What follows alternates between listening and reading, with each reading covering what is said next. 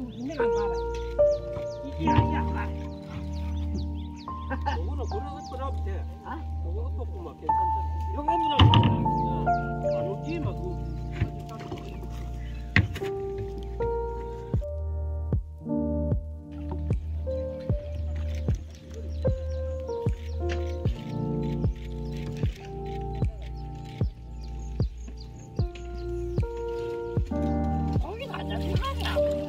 Ada?